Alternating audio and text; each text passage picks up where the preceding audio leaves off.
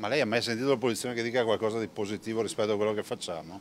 Noi faremo il Policlinico Universitario, metteremo a posto l'ospedale vecchio perché è sempre stato scritto nelle carte che l'ospedale vecchio verrà riqualificato, l'attuale Policlinico, verranno demolite le parti in più e, avrà, e sarà una, una realtà da un migliaio di posti letto.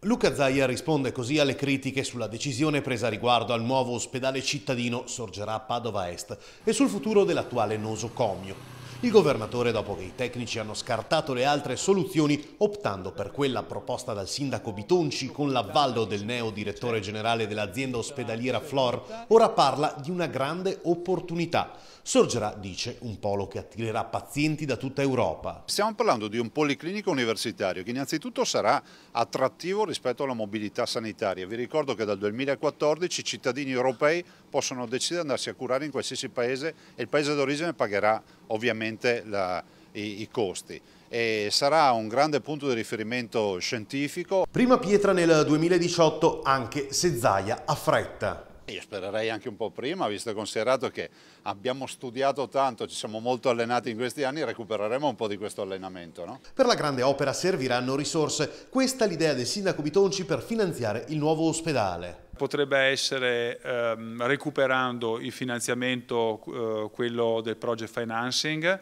La regione Zaia ha detto che metteranno a disposizione comunque delle somme anche a livello regionale in modo che se anche dovesse essere un project sarà di importo inferiore di quello, di quello precedente.